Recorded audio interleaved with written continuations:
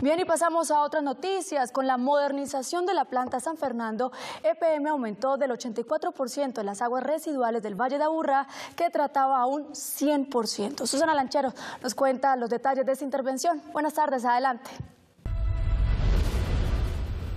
Hola, ¿qué tal compañeras? Muy buenas tardes. Miren, ya está lista la ampliación de la nueva línea del tratamiento de aguas residuales aquí en la planta San Fernando de EPM en el municipio de Itagüí, que recibe, que recibía hasta hace poco el 84% de las aguas residuales de los municipios del sur del Valle de Aburrá y ahora lo hará con el 100% de esas aguas gracias a esta ampliación. A esta hora me acompaña precisamente el director de proyecto de, proyecto de aguas residuales, él es Juan, Juan Carlos Herrera, discúlpeme. Bienvenido a Noticias Telemedellín y cuéntenos un poco de que en qué consistió esta ampliación? ¿Qué nuevos equipos e infraestructura hay aquí? De acuerdo, el proyecto Ampliación San Fernando pues, posibilita la ampliación de la planta de tratamiento de aguas residuales San Fernando en 900 litros por segundo adicionales.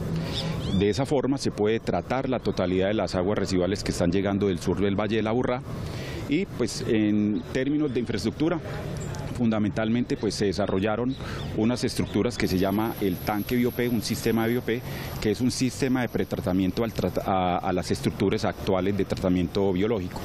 Adicionalmente se desarrollaron un sistema de reactores Bardenfo que permite el tratamiento biológico secundario a eh, las nuevas, a esos 900 litros por segundo pues adicionales que se adicionan. Entonces, además de la línea de aguas residuales, hay una línea de tratamiento de lodos, por tanto fue necesario la construcción y el desarrollo de un digestor anaerobio, que es donde se hace la estabilización de esos lodos para posteriormente ser llevados a la planta de aguas claras en el norte y tener pues un tratamiento de secado térmico. Bueno, aquí llegan las aguas en todo tipo de condiciones, con todos los residuos sólidos, incluso con animales, colchones, eh, papel higiénico. ¿En qué condiciones están retornando ustedes estas aguas que se tratan aquí mismo al río Medellín?